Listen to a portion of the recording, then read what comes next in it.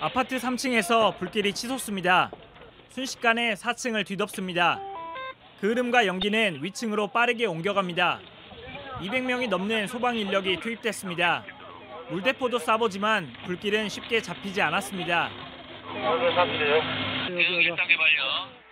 오늘 새벽 5시쯤 서울 도봉구 방학동의 한 아파트 3층에서 불이 났습니다. 주민들은 폭발 소리와 함께 불이 시작됐다고 했습니다.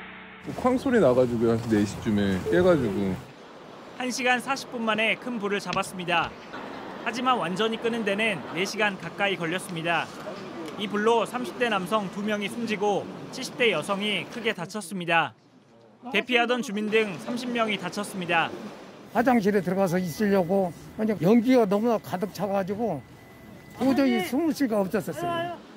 특히 아파트 내부 계단 통로가 굴뚝 역할을 하면서 연기가 삽시간에 건물 전체로 번지며 피해가 컸습니다. 성탄절 새벽에 갑작스런 불이 나자 주민들은 옷도 신발도 제대로 챙기지 못하고 밖으로 뛰쳐나왔습니다. 새벽에 난 불로 같은 동 주민 200여 명이 긴급 대피했습니다. 불은 꺼졌지만 연기와 그 흐름이 이웃세대 곳곳에 번졌는데요. 일부 주민들은 추위 속에 아파트 경로당에 마련된 임시 대피소와 또 모텔 등에서 당분간 지내기로 했습니다. 불이 시작된 집에 있던 70대 남녀는 밖으로 뛰어내려 생명을 건진 것으로 알려졌습니다. 경찰은 방화 등 범죄 혐의점은 없는 걸로 보고 내일 소방과 함께 현장 감식을 하기로 했습니다. JTBC 김한수입니다. 새벽에 불이 순식간에 번지자 바로 위층에 살던 일가족은 창문으로 뛰어내렸습니다. 두 살 난 첫째와 엄마가 뛰어내리고 아빠가 7개월 된 아기를 품에 안고 뛰어내렸는데 끝내 아빠는 숨을 거뒀습니다. 이어서 정인아 기자가 보도합니다. 불이 시작된 3층의 바로 위층에는 30대 부부와 두 아이가 살고 있었습니다.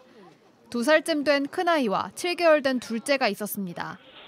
불이 삽시간에 번지자 피할 방법이 없었습니다. 결국 엄마가 큰아이를 먼저 창밖으로 던지고 뒤따라 뛰어내렸습니다. 우리가 그 분리수거 때문에 종이를 담는 톤백이 있거든요. 그러니까 1톤짜리 커다란 자루, 그 톤백을 그쪽으로 옮겨서 던져가지고 그 톤백에다가 떨어뜨렸고 뒤를 지키던 아빠가 막내는 안고 뛰어내렸습니다. 푸드득 하고선 그 톤백에 떨어지는 소리가 났고 그 다음에 퍽 하는 소리가 들렸거든요. 그 아버지는 이제 조금 거기서 멀리 떨어져야 되는데 멀리 뛰질 못한 것 같아요. 더 큰 충격을 받은 아빠는 끝내 숨을 거뒀습니다. 두 아이의 아버지인 30대 남성의 시신이 안치된 병원입니다. 아이들은 모두 생명에 지장이 없고 아내도 중상을 입었지만 의식은 회복한 걸로 알려졌습니다. 10층에 살던 30대 남성도 11층 계단에서 숨진 채 발견됐습니다. 유족들은 마지막까지 사람들을 구하고 늦게 나가다 숨진 걸로 보인다면서 유학까지 다녀온 아들이 허망하게 떠났다고 눈물을 흘렸습니다. JTBC 정인아입니다.